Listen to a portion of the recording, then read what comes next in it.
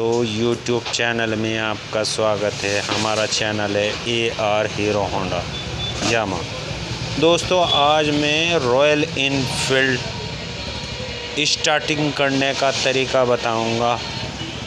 तरीका इतना अच्छा है कि इसे, और जो आप हाथ से भी स्टार्ट करना चाहोगे तो हाथ से स्टार्ट हो जाएगी। ठीक है दोस्तों? करते हैं आज की वीडियो स्टार्ट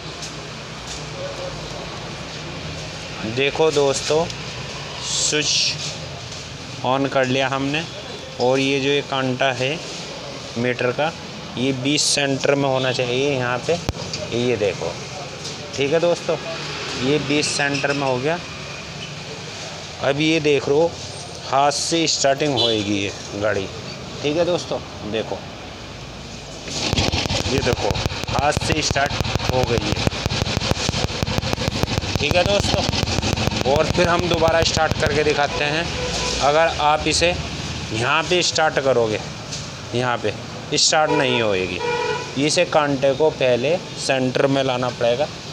ऐसे तरीके से ये देखो। अब देखो, हाथ से ही स्टार्ट हो जाएगी ये गाड़ी। इसकी स्टार्टिंग हमने सेट करी है। ये देखो, और इसके टैपिट मिलाए हैं। ये देखो स्टार्ट हो गई। ठीक है दोस्तों? ये देखो।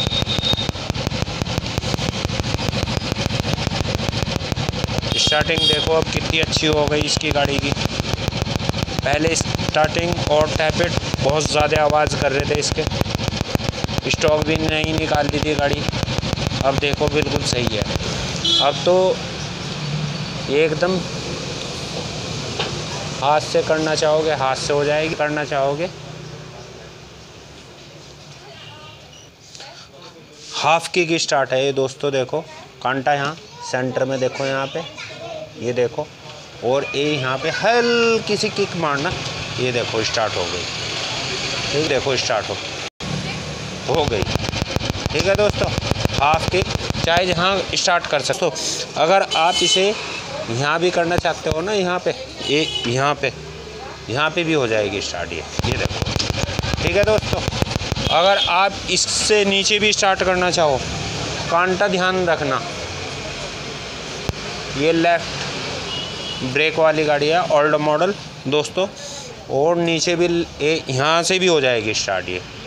ठीक है दोस्तों? ये ये देखो।